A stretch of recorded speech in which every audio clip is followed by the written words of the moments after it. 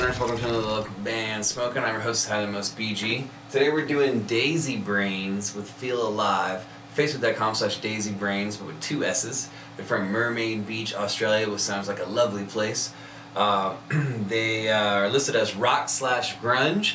Let's see the sponsors Youngblood Productions, Dirty Radio, Cali Care Group, Octave Studios located in Medicine Hat, Alberta, Canada, and Tour Support CBD, which is coming really soon.